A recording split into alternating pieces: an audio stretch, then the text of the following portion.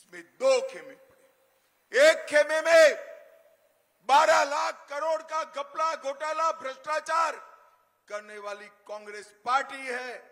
और दूसरे खेमे में तेईस साल तक मुख्यमंत्री, प्रधानमंत्री रहकर भी जिस पर 25 पैसे का आरोप नहीं है, ऐसे हमारे नेता नरेंद्र मोदी है, नरेंद्र मोदी। एक और चांदी की चम्मच के साथ पैदा हुए, राहुल बाबा है तो दूसरी ओर गरीब चाय बेचने वाले के घर में पैदा हुआ नरेंद्र मोदी है, नरेंद्र मोदी। एक और, थोड़ी गर्मी बढ़ते ही थाईलैंड और बैंकॉक चले जाने वाले, छुट्टी पर चले जाने वाले राहुल बाबा है। भाइयों बहनों, मेरी बात याद रखना, मैं भी हूँ, आप भी हो छह तारीख को, जैसे ही चार को परिणाम समाप्त होगा, छह तारीख को राहुल बाबा वैकेशन पर चले जाएँगे वैकेशन पर चले जाएँगे। और दूसरी ओर, तेईस साल से एक दिन की भी छुट्टी लिए बगैर, दीपावली के दिन भी, दीपावली के दिन भी सेना के जवानों के साथ मिठाई खाने वाला नरेंद्र मोदी है।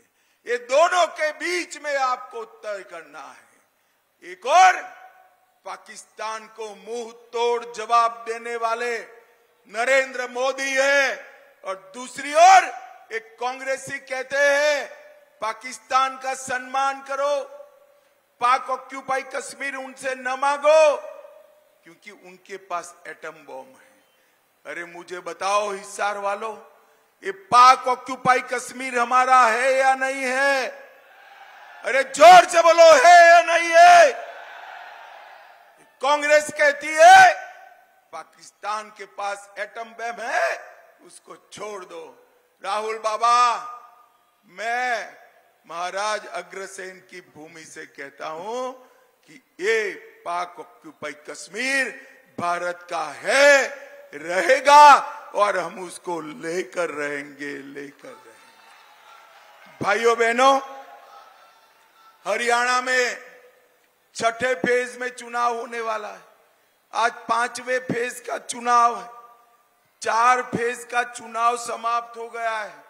आपको परिणाम जानना है क्या? जानना है? तो सुन लो, चार फ़ेज़ में नरेंद्र मोदी जी 270 सीटें प्राप्त कर कर बहुमत प्राप्त कर चुके और पांचवे, छठे, सातवें ने 400 पार कराना है।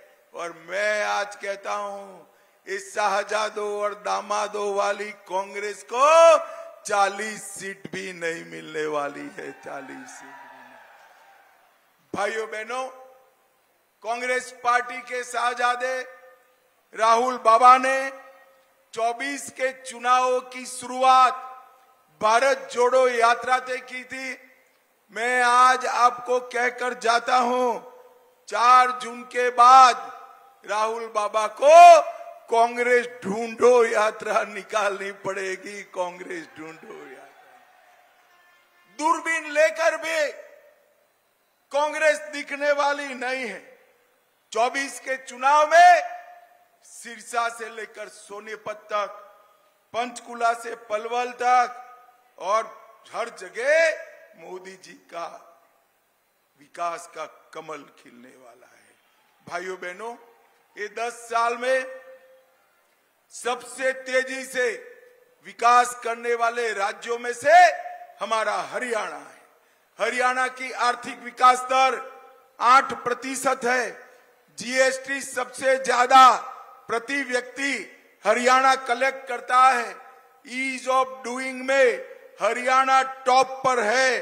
400 विश्व की फॉर्चून कंपनियों के कार्यालय अपने गुरुग्राम में बने हैं।